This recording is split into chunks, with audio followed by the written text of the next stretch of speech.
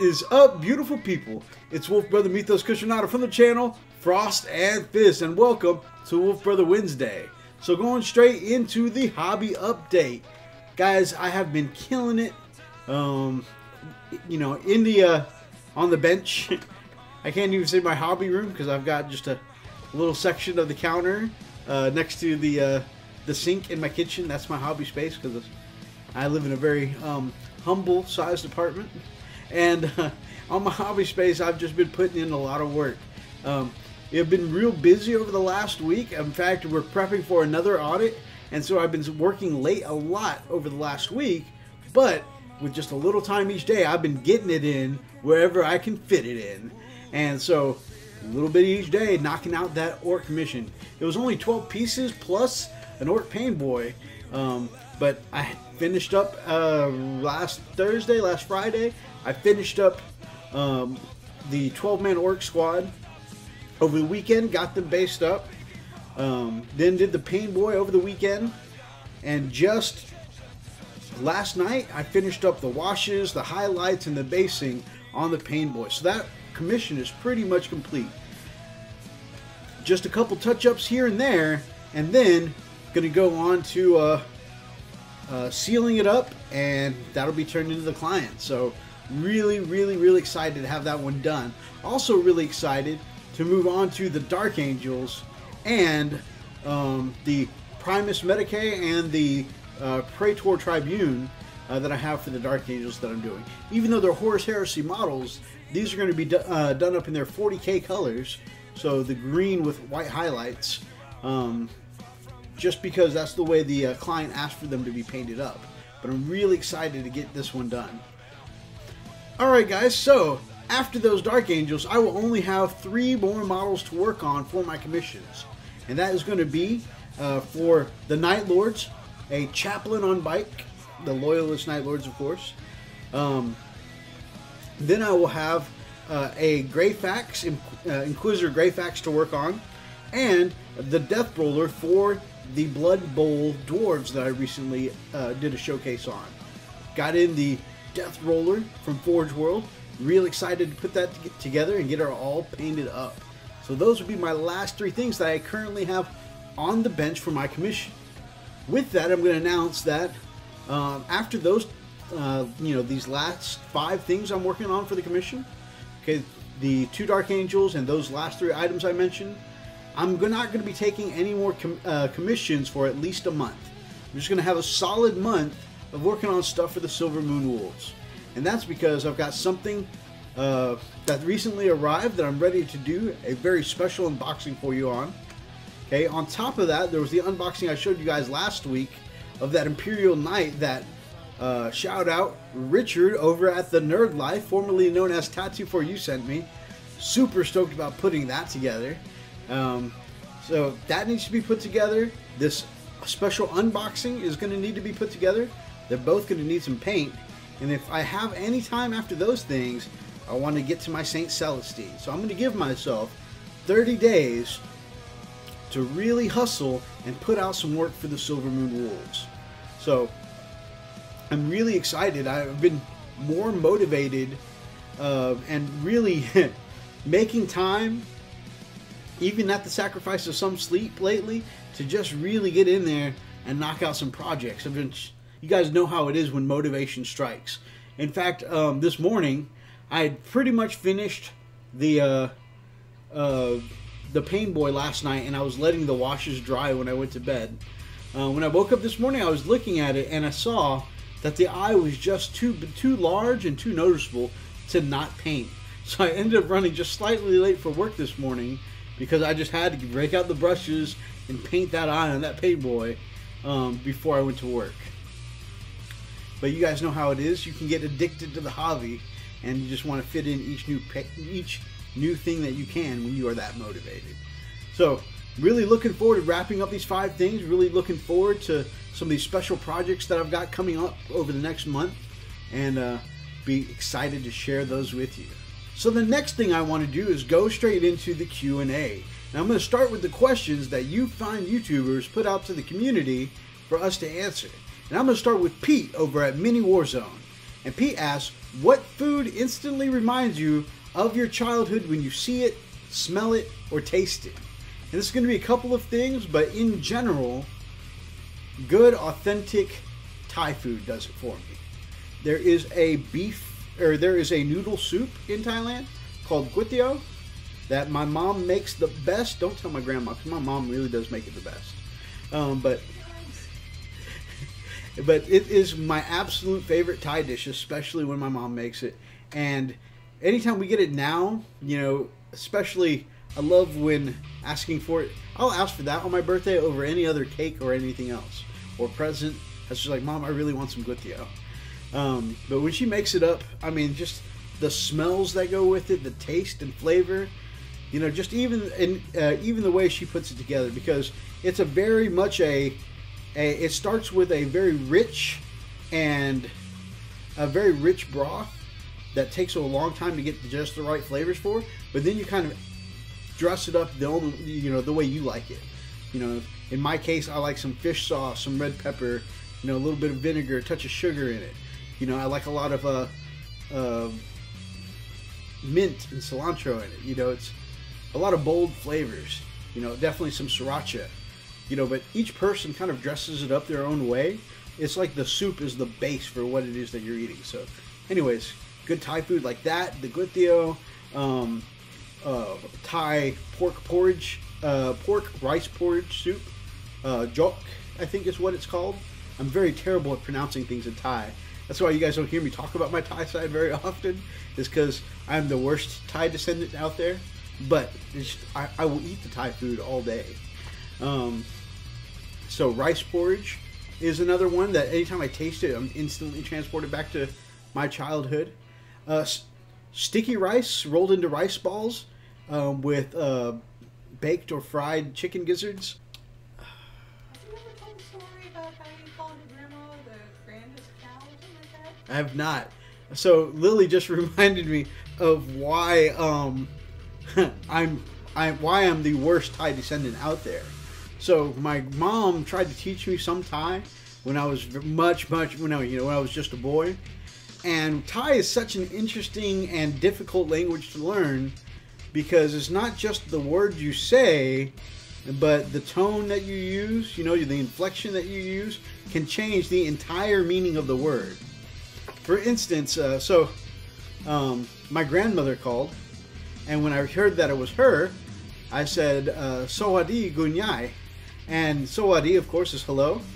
And then you say, uh, I said kunyai to say, you know, grandmother or great mother. Okay, but uh, again, not having the right tone or inflection can greatly change. Okay, so what you what it is that you're trying to say.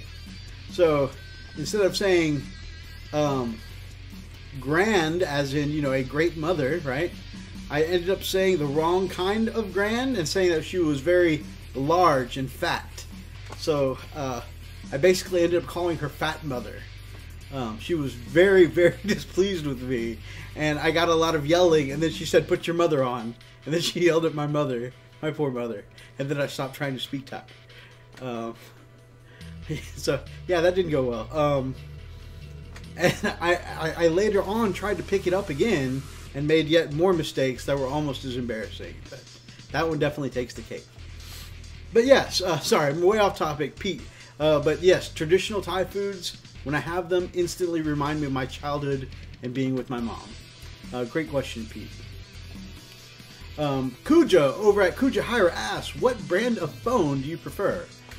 Now, I've always been an Android over iPhone kind of guy, uh, but as far as actual brands, I'm not like super hardcore sold on one brand.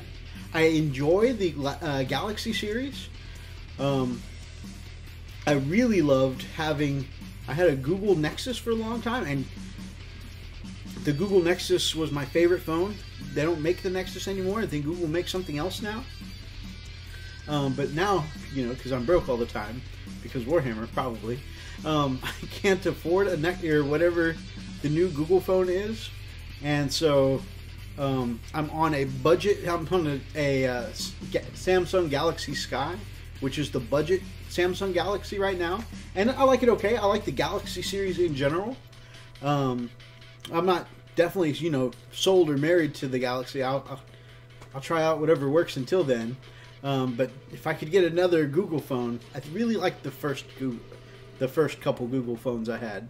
I had to have that one replaced several times. Uh, not because anything was wrong with the phone, just random accidents kept happening. Like I had a, a my phone slip and fall into a pool once, and once into the bathtub.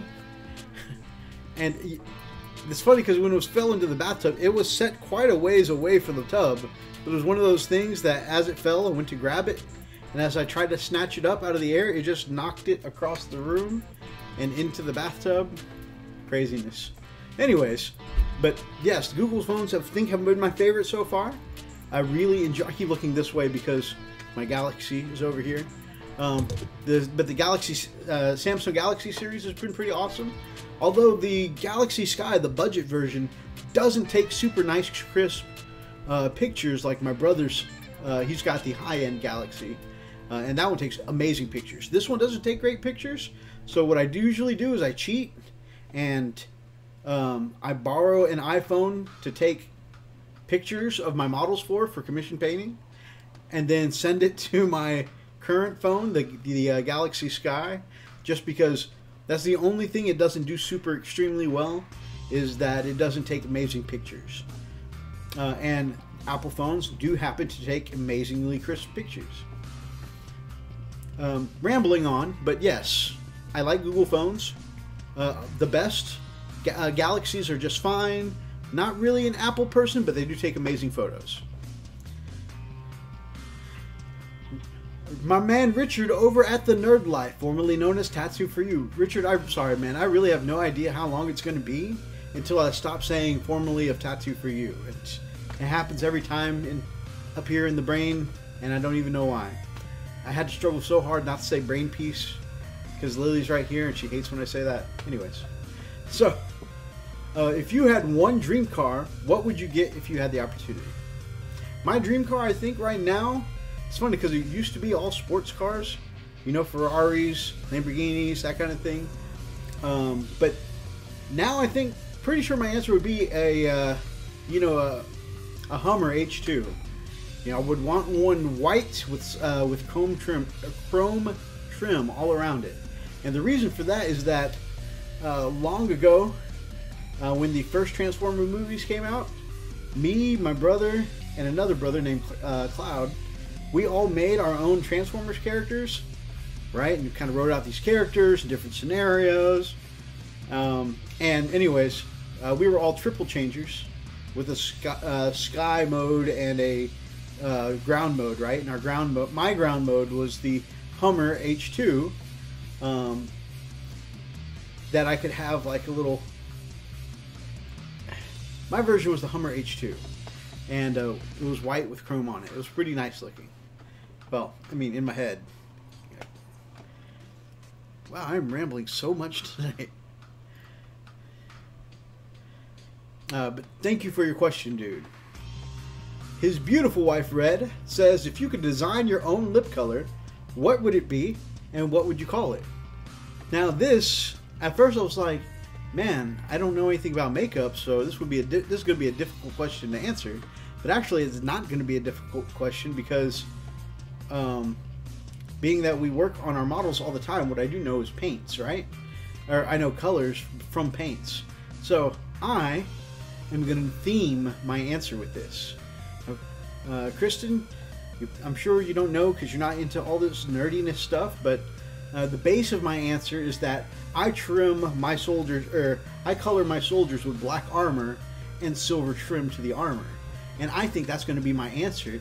Is I would want lipstick that has two parts a black lipstick to go around the lips and then a, a, a an outlining color a thin silver line that could go around it so it would be silver and black. And i would call the um, color combination silver moon named after my silver moon army. So yeah. Uh, thank you for your question uh, lady red my next question comes from TLR Wargaming, the Lone Ranger. And the Lone Ranger asks, What would you buy models for a game that no one near you plays, especially if it's bigger than a skirmish game. So up until that last part, I was definitely on board because one of the games or model, one of the things that I'm planning on collecting models for is um, the Batman game, um, because I've always been a DC Comics fan, and Batman and the Bat Family especially are my favorites. And so you know, I definitely want to collect a Bruce. I want to collect a, a Nightwing. I want to collect a Red Robin, uh, an actual Robin, uh, a Jason Todd or Red Hood. You know, I want to collect all these guys, um, just because Bat Family has always been my favorite thing. And um, my man over at, uh, of course, Pete over at Mini Warzone has been into the Batman figures, and watching him paint Marvel and Batman figures has made me want to uh, collect and paint some. Also, my man over at the Warp Forge um, also does has a huge focus on the Batman miniatures game, and he is constantly, constantly do getting new uh, models, um, doing Batman bat reps. You know, it's real exciting to watch. And I don't know anyone in the area that plays the Batman miniatures game, but the models look so cool, and seeing them do the models up is really inspiring. And so I, I want to get in on that. Now that is a smaller game, a skirmish game, that I would basically just be buying the models to paint them and doing the hobby portion. Uh, however, I've thought, considered that with other things too. Infinity, I, I don't know anyone in uh, in my local group who plays Infinity, but the models just look so cool. I kind of want to get into it. I want to get into it for, you know, uh, putting an army together just for the look of it, you know, because the aesthetics are pretty awesome.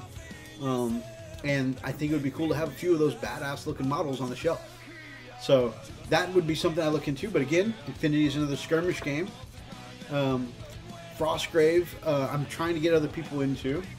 So again, another skirmish game. So I'm getting a, a collection of skirmish games under my belt here that I'm starting to grab things for, um, but no one in my area plays yet, uh, which hopefully will change. But um, another one is, of course, Age of Sigmar. Now, however, that one I was planning on start, you know, starting to slowly uh, build up an army so I could work on the, those gorgeous models, have them, you know, for channel, you know, use them for channel content as well.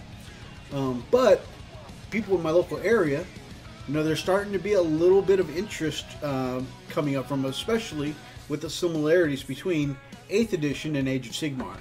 So, um, some of the guys in my area are starting to get interested in that Age of Sigmar I might actually have other people play with should I get some models to start uh, partaking. And um, if I do, which I'm, I'm, pretty sure I am going to get into Age of Sigmar, I think I'm going to go um, Stormcast Eternals.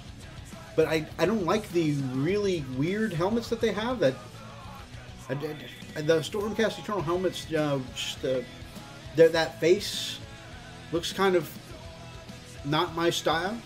So I think I'm going to take some wolf helms and put them on the Stormcast Eternals and uh, put a Wolf Brother spin on it. So, anyways, uh, bringing all that uh, back together to say, um, I, no, I haven't, but I have thought of the same thing for those smaller skirmish games. Uh, really great question, my man. All right, so those are the questions that I grabbed from some other channels. Um, you know, all the uh, links to those guys will be down in the description below. And now I'm going to take a look at some of the comments I had last week and grab some of the questions there. Uh, my man Freak uh, says, great hobby update and QA, Q&A as always. The other brother Freak. Thank you very much, Freak. Wargaming Wizard said, great Q&A, my brother. I love Jack Daniels and lemon iced tea, but no, not together. well, sounds like a wise choice to keep them apart, my friend. Um, I think 2018 you should do Lunar Wolves and do the Mournival with Loken, Abaddon, uh, Tarik, and Horus Aximand. You know, I, I, I, really like the idea of doing um, uh, the uh, the Lunar Wolves. So you know, 2018 may have to be my year. I mean, Nick over at Edict Beer 40k has already dubbed 2018 as the year of chaos. So, I mean, you know, if that's what um, our glorious leader says, you know, that we all have to do some chaos, I may have to look into those lunar wolves, you know, if I had to, you know. So, um, besides, I need myself a 30k force, so uh, maybe I can have the silver moon wolves in the 40k and uh, some lunar wolves in the 30k. We'll take a look. Might be a good upcoming project. Emperor, huh? Sam over at the Emperor's Path says agreed. He also says, "Great video, dude. I second what Jason said. Get yourself some Luna Wolves for sure. Might be, might have to be a plan, guys. Um, if you guys would like to see me, um, you know, give into a little chaos and put together some 30k Luna Wolves, let me know. Let me know down in the comments below. Because uh, this would be a great way for me to explore a new a new army while still being a wolf brother. Pete over at Mini Warzone says, Wow, what a great show. You certainly seem to have had an interesting life thus far. So glad you got the CD with no problems. Like I said last week, guys, I got this uh, the CD from when Pete was in a band, and guys, it is really, really awesome. In fact, number nine is an instrumental, and that one is just, it gets stuck in my head all the time just because it's so actiony sounding. Like, you could really envision some really cool action scenes to the song, like The Matrix or whatever. Very cool CD. A lot of that, a lot of the songs on the CD have that that kind of feel where you can see it in an action movie. So, um, definitely cool stuff. Uh, the Frost and Fist Gaming Store sounds like a dream vacation. Live that dream, my brother. I really want to get there. I really want to get to the point where we can open up a Frost and Fist Gaming Store and do painting studio, YouTube studio all in one. That would be so, so awesome. Uh, Edict Beer. I'm going to skip over Edict Beer because uh, his question goes deep, and I'm going to end the show on that one. Big Mech Dance said, Great show, my man. Question I've often struggled with batch painting, but recently I seem to be getting into a groove whilst watching longer YouTube videos, be it a live stream from Wargamer Online, shout out to Wargamer Online, um, or the always fabulous Wolf Brother Wednesday. Are there any tips you'd care to share um, that you find help yourself when painting large numbers of models? Uh, the big, the biggest answer for me is that uh, not really. I'm not very successful at big batch painting. In fact, um, when I first got into commissions, I uh, I did up 20 Marines all at once of the same the same 30k Marine. And I'm gonna be honest with you guys, after doing 20 of the same Marine in a row, at first I was like, this feels very productive. And then after a while, I'm like, ah, oh, this feels like a burnout. I'm, I'm done with I'm done with tactical Marines for now. Um, and of course, you know, once I took just a short break, you know, um, I got right back into my groove. But um, big batch painting uh, definitely is a tough way to go. I uh, I prefer to stick to small squads of um, you know five to ten myself. Of course, I did just recently do twelve. But the other thing you said, um, getting into a groove while watching something long, that's definitely been the biggest key for me. Is uh, not paying. I mean, paying attention to do a good job, but having something other than that to take your mind off of it. Recently, I've been watching a ton of Arrow and The Flash with my beautiful wife, and uh, you know, we'll burn through, you know, half of a season in a night sometimes. And honestly, while I'm, you know, I'm over there doing my painting thing while watching the show, it's got something, you know, the something to curb the ADD part of my mind can focus on the show while my hands and you know what I'm you know I'm still got part of myself focused on the painting but it doesn't feel like a long chore that way. So I think you've got the right of it. You know, I think uh, having something to take your attention off of what you're doing, um, such as a long video, and yeah, that really takes the monotony out of it. I also saw a great tip over at Wargamer Online. I'm sure you saw it uh, up recently, and he uses uh, old pieces of sprue um, to be able to uh, get down his primer coat all in one line at one time. And that seems like a, great time saver. Go check out uh, Sam's tip over at Wargamer Online. So I'm going to answer your question by referring you to someone else. How classy of me. Uh, my man over at Big Beard Painting. Top stuff, Mythos. Great vid as usual. Looking forward to seeing that Imperial Knight painted. I really need to get one of those. Question for next week Do you play or intend to uh, try any other wargame systems? So, uh, just like I was saying earlier, I'm intending to get into Age of Sigmar at some point. Uh, also, my man Zai is hooking me up with a Blood Bowl team, so that'll be a, an awesome game for me to play. Um, so, Age of Sigmar, Blood Bowl, and then Frostgrave. I really want to get into at some point. Um, I just need to make the time to build up the terrain for Frostgrave because most of my terrain is, you know, uh, modern, you know, sci-fi, you know, uh, ruin factory kind of uh, 40k terrain. So I definitely need to uh, get some more fantasy-esque terrain, um, something of like a Frozen City kind of stuff.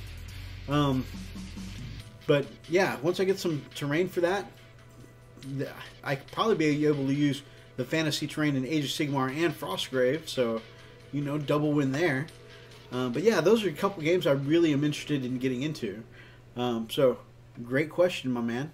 Um, definitely shout out. You know, I feel like I, I want to send as many people as I can over to Big Beard Painting because my man's got uh, 22 subs right now and definitely deserves so much more. He's really, really talented painter and just uh, awesome personality, and managed to fit, uh, manages to fit in YouTube and that hobby life with six kids. You got six kids in the house. It's hard to do anything, but he is making it happen here on the YouTube and with amazing paint jobs in the hobby. So go check out my man at Big Beard Painting. Uh, Forge the Wild said, a privilege to watch as always, sir. Keep up the good work. Guys, if you've seen some of my previous battle reports um, with Atlas, you know, Imperial Guard player, heck of a guy. Um, he recently started that YouTube channel, Forge the Wild, and um, he's got some stuff with his military service. It's going to be X Guard versus Marines, uh, but he also does some stuff with survival. In fact, he recently put up a video called Bushcraft: How to Make a Hut from Nature. You know, pieces of bushes, twine, building up a hut from nothing but nature. Go check that out. You can learn some serious survival skills from my man Atlas. Oversoul Gaming, uh, YouTube Let's Player, friend of mine, Oversoul Gaming. You should check him out. Just said you've had quite the week. Definitely have, my man. Last couple weeks have been absolutely swamped. James and his stuff. Cool vid. Keep up the good work. Thank you, my brother. Warforge says, finally get around to paint Space Wolves. Enjoy the Wolf Brother Wednesday. Thank you, my man uh, I am definitely looking forward to seeing your Space Wolves because, you know, uh, I always enjoy checking out uh, work that other Wolf Brothers put out, my man. Um, checking out other people's Space Wolves is definitely uh, a hobby of mine. And then, of course, Will Gaines, also known as Shroud, says, Oh wow, I didn't realize you were working on the limited edition characters for Horus Heresy. Awesome. And Orcs can't wait.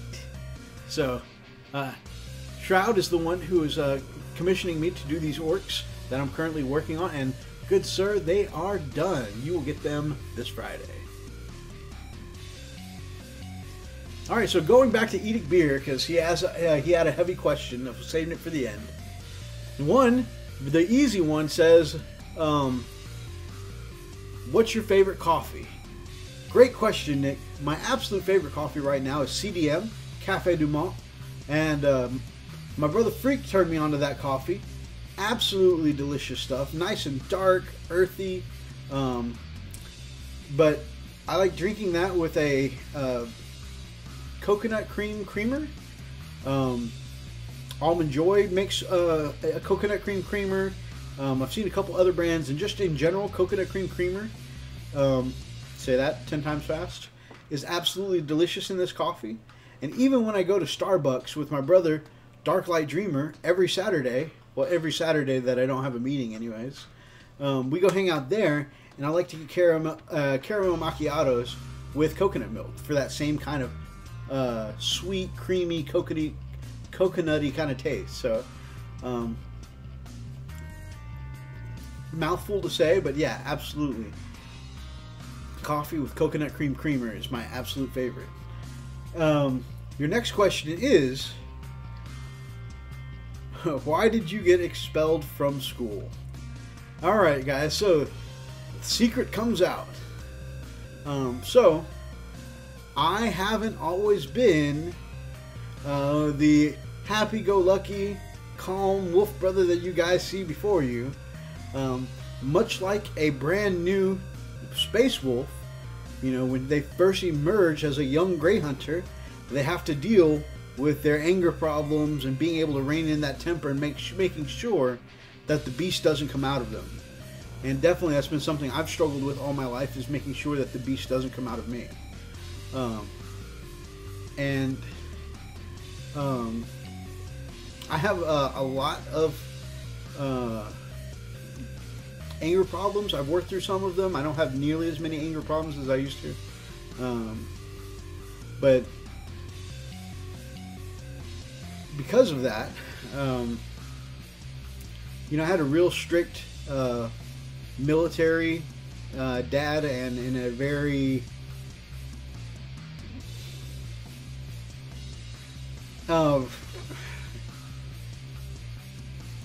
he was just one to do a lot of enforcing, you know, by tearing you down, telling you how fat and stupid you are and how you're never going to amount to anything in life and uh, you know just really reinforcing the whole um, fat, lazy, stupid thing in you. Um, he did a lot of reinforcing with, uh, uh, you know, um, knuckles or the flat of his hand. Um, I remember one time uh, I uh, I said something um, while ga- gathering up the trash because I was in trouble for not taking out the trash, and uh, he went to kick the trash can. You know, in a show of dominance, to kick it, uh, I guess, out of my hands or whatever, but didn't completely just get the trash can. Accidentally ended up kicking me in the stomach so hard I blacked out in pain. Anyways, um, anyway, yeah, just I don't mean to overshare. Uh, just kind of giving you an idea of what I kind of grew up with, and I, I was dealing with a lot of anger problems from. I, I guess that's just part of uh, how I survived and made it through that. Is we all took our scars, you know, uh, emotionally. Um, but I, I left my childhood with a lot of anger. And so, anyways, after he was no longer in the picture, he wasn't around anymore, I did a lot of, I guess, I went into a rebellious phase. I I, I skipped class a lot. Um, you know, I met a. it all went south when I met a girl. Uh, skipped class a lot, and uh, um, she ended up getting pregnant. And then uh, I was, at the same time, accepted into the DC School of Math and Science uh, for my writing of all things. I mean, I had overall good grades, but they were starting to plummet. um, and uh, after I got this girl pregnant, we were still trying to go to school and make it work. And, um, anyways, allegedly, uh, she had been called into the principal's office to discuss how um, I was going to be getting a scholarship anymore because of her influence on me and my behavior after hang- starting to hang out with her, and you know um, how she was basically destroying my future. Now I say allegedly because the, the, way the rest of the story goes. Um, so uh, she one day was feeling too pregnancy sick to go to class, and I come home after he talks to her, and there is while pregnant. Um, some Boone's Farm, which is a, a local malt liquor, I guess, and or not local, but it's a here in the states. It's a malt liquor, and a knife. And uh, she allegedly would, felt so bad after being yelled at by the principal that she was going to commit suicide. And my first thought was, okay, so my girlfriend and potentially my child were just endangered based off what this guy insensitively said to her. Now, I, as an adult, now that I've had some experience in life, I realize this was all staged for my benefit. Um, but at the time, I acted rashly, and I marched back up to the school, and I, I looked at you know the uh, the principal right in the face, and explained to him how he put my girlfriend and my potentially unborn child in danger, and I told him exactly how I felt about that.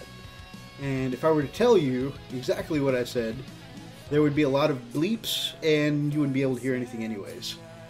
Um, so, anyways, he just turned bright, bright, like bright red, and then brick, dark brick red, and told me to get the hell out of his office, and that I was expelled, and I'd never, you know, I'd never go to school at any class in this city ever again, and that my future was over, that kind of thing. And I, I upset him, I'm sure. Um, but he told me I was expelled, and it wasn't until about 10 years later, when I was telling my story to someone else, that somebody said, You realize that you have to have a, a hearing with the school board in order to be expelled and not able to go back to other classes. Um, of course, by that time, I'd already gone and gotten my GED and moved on with my life. And I, I learned to, you know, I, I learned, I got that person that was being a negative influence in my life out of the picture um, because there were a few other shady things that happened. Um, and I realized that that person was not a good influence in my life. Uh, I moved on and got my GED, and uh, uh, eventually, um, you know, got my certifications now in behavioral, uh, you know, behavioral science and occupational safety, and uh, some other um, security style classes. Um, and so I, I moved past that, but my education was compromised way early in life because of the way that I overreacted to the principal and that the way the principal overreacted to me. I mean, ultimately, I brought it on myself. Um, but uh, yeah, that's a, that's a pretty deep story, Nick. That's why I got expelled.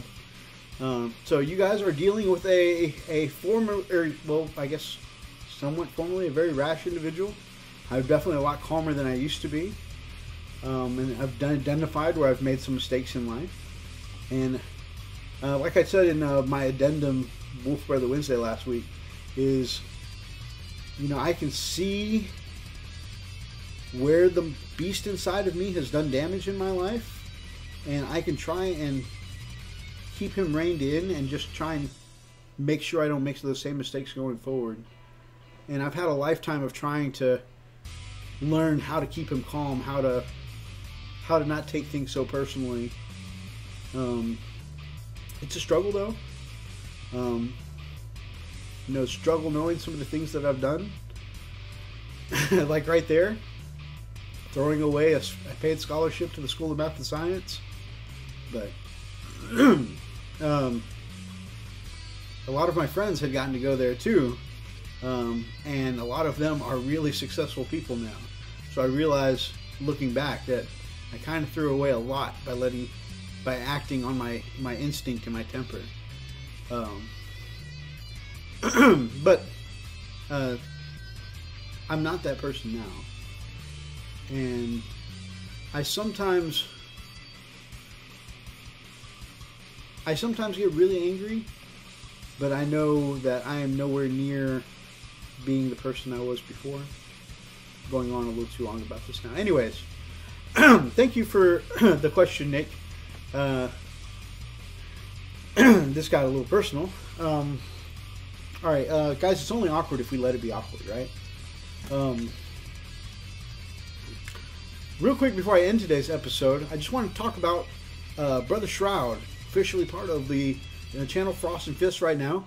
We're currently looking at getting our our uh, our title screen adjusted and our little logo adjusted, um, which will be cool. And uh, yeah, every Sunday you'll be able to expect a Shrouded Sunday where he'll talk about the lore in the world of uh, Warhammer 40k. And he's starting a new series. He just started this past Monday on um, called Straight from the Page. And this is where Shroud will give you a book report based on some of these Warhammer uh, 40k novels that he's read. Man has read well over a hundred um, Warhammer 40k novels, and um, he's got like I think 12 years of experience or more reading these books. So the man has a wealth of information when it comes to Warhammer 40k books, um, and I'm so pleased that he will be sharing that that knowledge with all of us here on the Frost and Fists. Alright guys, so the last thing for this video is the Wolf Brother question of the week. And this is totally not being asked after I've already signed out and said stay frosty. So, um, through the magic of YouTube time travel, my question for this week is I want you to name one positive thing that you're excited about for 8th edition so far, and one thing you yet have reservations on. Thank you so much for your time, guys, and I'm looking forward to your answers. Alright, guys, thank you so much for joining us. If you liked this episode, then grab up an axe and smash that like button in the name of the Emperor. And uh, drop me some comments down below letting me know what you thought of this Wolf Brother Wednesday. And, of course, if you are not yet subscribed to the channel, then Shroud, Freak, and I would love to have you as part of the pack here on the Frost and Fist. Until next time, guys, stay frosty.